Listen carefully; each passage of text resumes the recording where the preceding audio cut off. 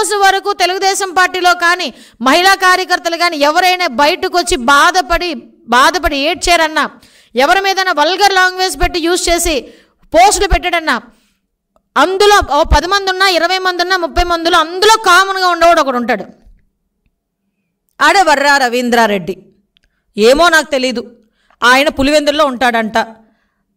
పులివెందుల నియోజకవర్గంలోని వర్రా రవీంద్రారెడ్డి గారు గారు అనే కన్నా గాడు అనడం బెటర్ ఆ వందరా రవీంద్రారెడ్డి గారు జగన్మోహన్ రెడ్డి గారి కనుసనలో పనిచేస్తున్నాడా? భారతిరెడ్డి గారి కనుసనలో పనిచేస్తున్నాడో? మాకైతే అర్థం కావట్లే. ఈ మాట అన్నా మీరు బూతుగా తీసుకుంటే నేనేమి చేయలేను. ఎందుకంటే ఆ వ్యక్తి మనిషికి అన్- మనిషి అన్నం తింటున్నాడా గడ్డి తింటున్నాడా అన్నది పక్కన పెడితే అసలు మనిషి పుట్టక పుట్టాడా మనిషికే పుట్టాడా అన్న సంగతి అయితే మేము ఆలోచించాలి.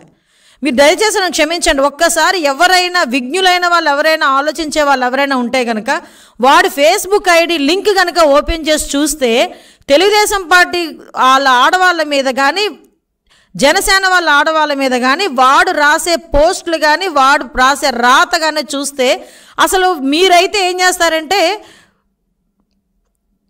ఇంకంతే. పేక కోసి చంపేస్తారు. లేదంటే నాలుగు కోసేస్తారు. మేము ప్రజాపక్షాన్ని పోరాడుతున్నాం కాబట్టి మమ్మల్ని మాట్లాడుతున్న కడుపులో మండిన లోపలోపల ఏడ్చుకున్న ఏడ్చుకున్నా ఇలాంటి నా కొడుకులు వదలకూడదు. ఇలాంటి వాళ్ళు ఎంతమంది చేసినా కూడా మేము ప్రజా సంక్షేమం గురించి పోరాడాలని చెప్పి బయటకు వస్తున్నాం. ఒక్కసారి లింక్ కూడా మీకు కావాలిస్తే నేను నా ప్రెస్ మీట్ అయిపోయిన తర్వాత నేను పెడతా నా ట్వీట్లో పెడతా. ట్విట్టర్ ట్వీట్ చేస్తా. ఆ ఫేస్బుక్ ఐడి ఒక్కసారి ఓపెన్ చేసి చూడండి. మేము ఎవరి మీద మాట్లాడలే ఇలాంటి వాడిని ఎందుకు ఇతని గారి గురించే మాట్లాడుతున్నానంటే ఈ ఇతగాడు భారతిరెడ్డి గారికి జగన్మోహన్ రెడ్డి గారికి అతి ఇష్టుడు అతి సన్నిహితుడు.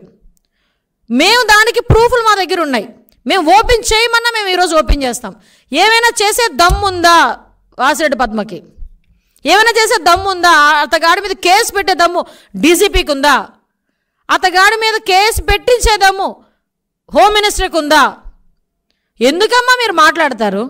తెలుగుదేశం పార్టీ వాళ్ళు ఏదో అన్నారు వైసీపీ పార్టీ వాళ్ళు ఏదో అన్నారు అవును ఓకే డన్ నేను అదే చెప్తా. మా తెలుగుదేశం పార్టీ వాళ్ళు ఎవరైనా మీ భారతీ గారి మీద కానీ మీ మీద కానీ ఇంకా ఎవరి మీద కానీ అసభ్యంగా పోస్టులు పెడితే మీరు ఎలాగో ముందుకెళ్తున్నారు? వెళ్ళండి నేను కాదని చెప్పట్లేదు. అదేవిధంగా మా మీద ఎవడైనా పోస్టులు పెడితే వాళ్ళని కూడా తాటేసి తీసే దమ్ము ఉందంటేనే వాళ్ళ దగ్గరికి వెళ్ళండి. అది లేదు కానీ మాట్లాడితే ఇష్టానుసారంగా మాట్లాడతారు. పైగా చైర్పర్సన్ గారు ఇంకో మాట అన్నారు. ఏంటది? సోషల్ మీడియా దాని గురించి ఒక కమిటీ వేసి ఒక కమిషన్ వేసి ఒక మీటింగ్ పెడతాం ఐదో తారీఖునని. అమ్మా నేను రిక్వెస్ట్ చేసిన. మీ నేను కూడా సోషల్ మీడియాలో బాధితురాలనే. సోషల్ మీడియాలో ఎవరైతే బాధితులు ఉన్నారో వాళ్ళందరి గురించేనే కదా మీరు మీటింగ్ పెడతానంటున్నారు. మా మహిళల తరపున సుమారుగా వంద మంది పైన ఉన్నారు ఇలాగా సోషల్ మీడియాలో బాధింపబడిన వాళ్ళు. వీళ్ళు మేమందరం కూడా వస్తాం మీ దగ్గరికి. మా బాధలు చెప్పుకుంటాం. మేము ఒకసారి ఇంతమంది మీద అగాయిత్యాలు జరుగుతున్నాయని బుక్ ఇస్తేనే ఈ రోజు వరకు అతిగతి లేదు మీరు ఈ రోజు కమిషన్ ఏదో వేస్తానన్నారు. దానికి రాజకీయ పార్టీలు పిలవండి. మాతో పాటు అన్ని పార్టీలని పిలవండి. మేము వస్తాం మీకు సహకరిస్తాం. ఈ సోషల్ మీడియా మీద మీరైతే యుద్ధం ప్రకటించారో ఆ యుద్ధంలో మేము పాలు పంచుకుంటాం. నాకు తెలిసి సోషల్ మీడియాలో మీరు యుద్ధం ప్రకటించారని అనుకుంటున్నా. అది అన్ని పార్టీల వాళ్ళ మీద ప్రకటించారని అనుకుంటున్నా ఇంక్లూడింగ్ యువ పార్టీ. నేను వస్తాను. మాతో పాటు మా తెలుగు మహిళలు అందరూ వస్తారు. జనసేనలను బతిమాలుకుందాం. సిపిఎం సిపిఐ వాళ్ళని అడుగుదాం. లోక్సత్తా వాళ్ళని అడుగుదాం. కాంగ్రెస్ వాళ్ళని అడుగుదాం. బీజేపీ వాళ్ళని అడుగుదాం. అందరం కలిసి ఈరోజు మహిళా లోకం అంతా ఒక్కటై ఈరోజు సోషల్ మీడియాలోని జరుగుతున్న దుష్ప్రచారాల మీద పోరాటం చేద్దాం. మీరు మాకు అధ్యక్షత వహించండి. మహిళా కమిషన్ చైర్పర్సన్గా ఒక మీటింగ్ అరేంజ్ చేయండి. ఆ మీటింగ్ మేమందరం కూడా పాల్గొంటాం. మా అందరికీ కూడా ఇన్విటేషన్స్ పంపించండి. మీకు దమ్ముంటే అప్పుడు మాట్లాడండి. సోషల్ మీడియాలో మీరు ఏ రకమైన యుద్ధం చేద్దాం అనుకుంటున్నారు ఏ రకమైన వార్ చేద్దాం అనుకుంటున్నారు ఎవరి మీద వార్ చేద్దాం అనుకుంటున్నారు? నేను ఓపెన్గా మిమ్మల్ని అడుగుతున్నా దయచేసి రిక్వెస్ట్ చేస్తున్నా. వెన్యూ చెప్పండి.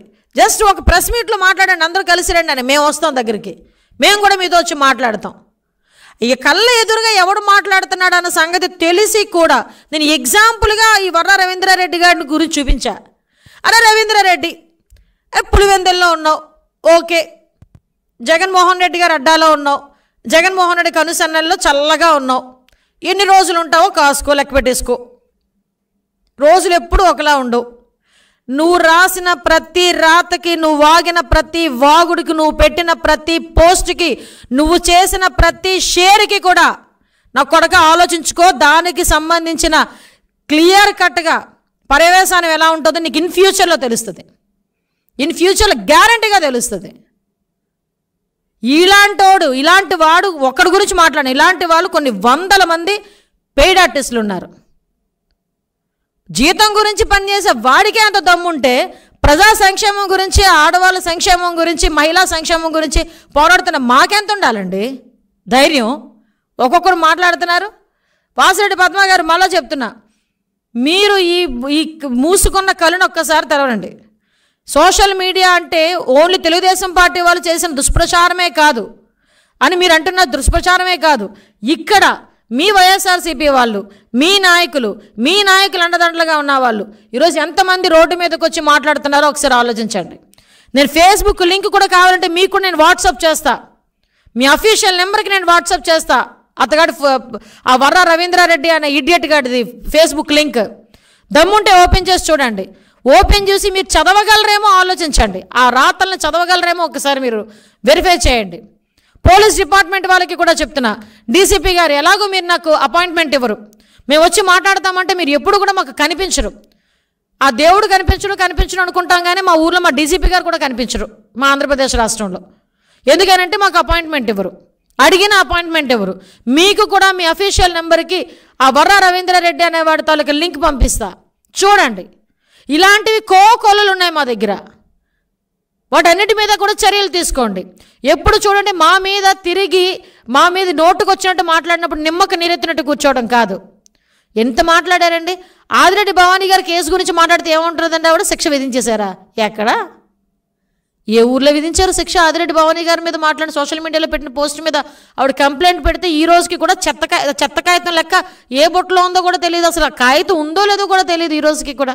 ఒకసారి ఓపెన్ చేయమనండి ఆదిరెడ్డి భవానీ గారు ఒక ఎమ్మెల్యే. ఆవిడ సోషల్ మీడియాలో ఆవిడ గురించి కొంచెం అబ్యూజింగ్గా మాట్లాడితే దిశ పోలీస్ స్టేషన్ ప్రారంభోత్సవం రోజున ఆవిడకి పో ఒక కంప్లైంట్ పెట్టారు. ఆ కంప్లైంట్ ఎక్కడుందో కనీసం స్టేటస్ ఏంటో చెప్పమనండి డీసీపీ గారిని. దానికి అతి గతి లేదు. ఈవిడ కూడా దిశా చట్టం అని మాట్లాడిద్ది. తర్వాత దిశ ముసాయిదా అనిద్ది. అంటే వీళ్ళకే క్లారిటీ లేకుండా మాట్లాడే పద్ధతి. మళ్ళీ నేను ఎందుకు చెప్తున్నానంటే రిక్వెస్ట్ చేస్తున్నా. రిక్వెస్ట్ చేస్తున్నా.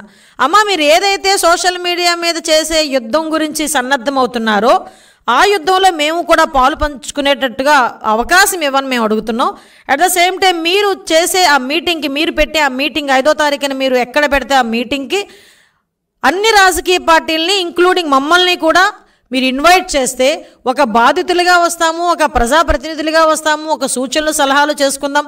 మన అందరం కలిసి సోషల్ మీడియా మీద పోరు బాట పడదామని మిమ్మల్ని అందరినీ కూడా వినవించుకుంటూ వన్ సైడే కాదు అదర్ సైడ్ కూడా చూడమని కోరుకుంటున్నాను. అంటే ఆయన ఎవరో ఏదో అనుకుంటారు కదా వర్ర రవీంద్రారెడ్డి అంటే ఎవరో పెద్ద మా ప్రభాస్ లెక్క ఉంటాడు ఎలా ఉంటాడు అనుకుంటారేమో కదా ఒకసారి. అది కూడా అంటే ఏం లేదు నేను ఎందుకు దయచేసి క్షమించండి? నేను భారతిరెడ్డి గారిని కూడా నేను వినయపూర్వకంగా క్షమించమని అడుగుతున్నా. ఎందుకనంటే తప్పదు. ఎందుకంటే ఈ రోజుకి మరి ఆవిడ పాత్ర ఎంత ఉందో లేదో తెలీదు. సాక్షి పేపర్ నడుపుతున్నారు ఆవిడ. ఆవిడ చాలా డిగ్నిఫైగా ఉంటారని మేము అనుకుంటాం. అందుకే మేము చాలాసార్లు ఆవిడ గురించి రిక్వెస్ట్ కూడా చేసాం అమ్మ మీరు ఇలా చెప్పండి మీ సహధర్మచారిని మీరు అన్నీ చెప్పండి అని చెప్పాం. కాకపోతే ఎర ఎవరైతే టీడీపీ మహిళల్ని టార్గెట్ చేసి ఎవరైతే సోషల్ మీడియాని మేనేజ్ చేస్తున్నారో వాళ్ళు ఎవరిని ఎవరినైతే ఒక వెపన్గా వాడుకుంటున్నాడో వాడి ఫోటోలు మీ పక్కన ఉండడం అన్నది మాకు కొంచెం బాధ కలిగించింది. అతగాడిని ప్రపంచానికి చూపించాలి కాబట్టి ఈ ఫోటో కూడా నేను డిస్ప్లే చేస్తున్నా. దయచేసి ప్లీజ్. అతగాడేనండి? చూసారా పిఎల్ ఎక్కడున్నాడు? భారతీయ సిమెంట్ డైరీ చేతిలో అసలు అంటే ఏం లేదంటే మరి భారతిరెడ్డి గారే సమాధానం చెప్పాలి. లేకపోతే భారతిరెడ్డి గారు వాడినైనా పిలిచి మందలించడమో లేకపోతే అతగాడిని చాచిపెట్టి ఒకటి కొట్టడమో చేస్తే కొంచెం మహిళల తరపున మేమందరం కూడా ఆనందిస్తాం. లేదు కాదు కూడదు ఇలాగే ఉంటారు అనుకుంటే కనుక మా పని మేము చేసుకోవాల్సి వస్తుంది.